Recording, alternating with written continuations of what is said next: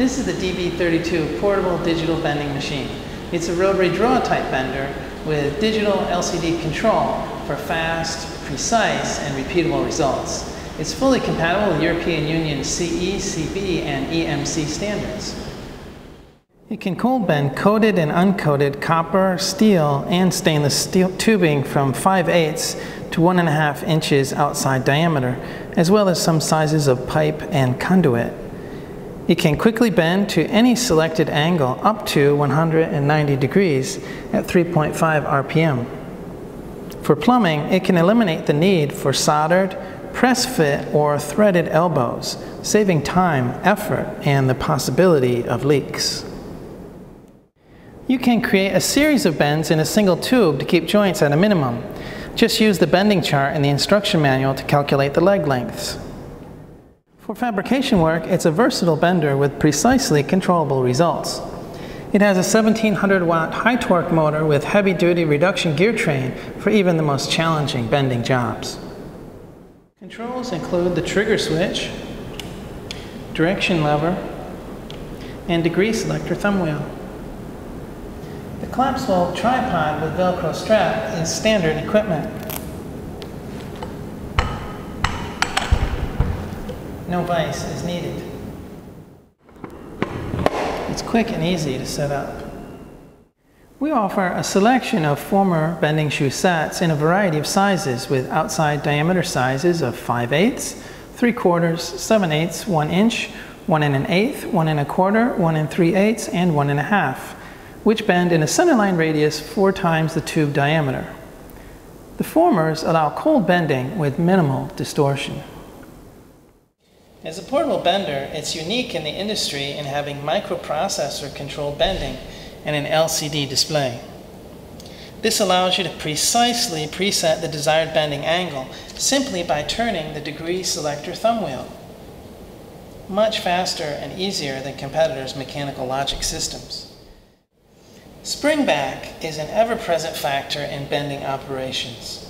Different materials, wall thicknesses, and the angle of bend will all affect springback. It has programmed in springback compensation, but this will sometimes need to be fine-tuned. The good news is it has never been easier to compensate for springback than with this machine.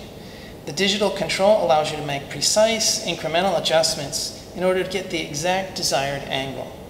So for example, you need 92 to get a resulting 90 degrees. Once found, the correction factor will be consistent for a given material and bend angle, saving you time, frustration, and wasted material. The blow case holds the machine, shoe pivot bolt, and 5 eighths through 1 and a quarter inch former shoe sets. Truly a versatile bender which saves time and gives top quality results. When the machine is first plugged in, 1, 1 should be displayed, which indicates that it's at the 0 degree starting position. Select reverse by turning the direction lever to R, then press the trigger and 0 will be briefly displayed, followed by the last bending angle setting. If when you plug it in, it isn't at the 0 degree starting position, 0, 0 will be displayed. Select reverse, then press and hold the trigger until the spindle returns back to the zero degree starting position. Select the correct size bending former and shoe. Add some light oil to the tube. Insert the tube into the bending former with at least 10 millimeters projecting beyond the driver hook. Mount the shoe and shoe pivot bolt. View the LCD screen and set to the desired angle by turning the degree selector thumb wheel. We'll adjust to 90 degrees.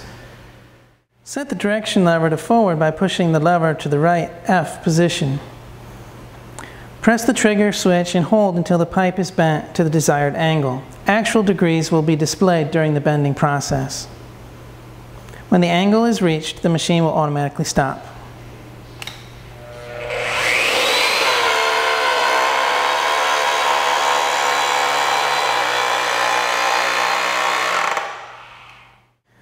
To remove the tube, set the direction lever to R and press the trigger switch, the machine will first back out about 15 degrees and stop.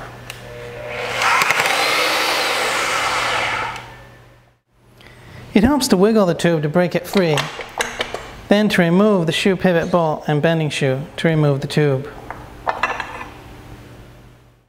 Press the trigger switch for a second time and hold to return to the zero degree starting position.